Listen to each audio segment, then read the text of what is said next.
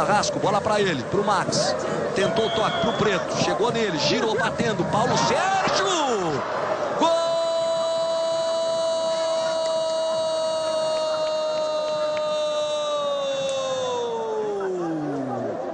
Paulo Sérgio contra, é do Ipatinga.